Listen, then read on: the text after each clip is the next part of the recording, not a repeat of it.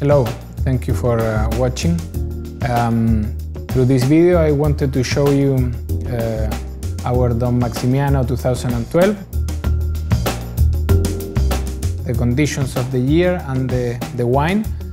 Uh, 2012 was a moderate uh, warm year, dry, uh, with low crop, low production. Uh, this, this characteristic allow us to, to have a very good concentration in our, in our fruit and also to have um, very good ripening uh, of the tannins and the fruit.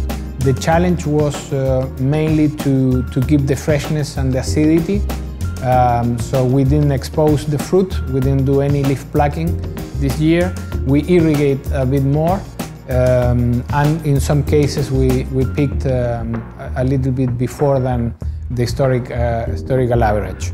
Um, for the vinification, our classic vinification is all hand-picked in small cases of 12 kilos, 12 kilos, um, fermented in individual tanks and kept separate, then sent to, to barrel for a 22-month uh, barrel aging, 100% uh, French oak and in this year only 65% uh, new new uh, barrique, new oak.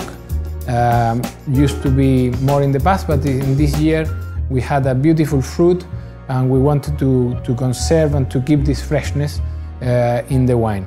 Um, the wine shows a very beautiful red color, intense.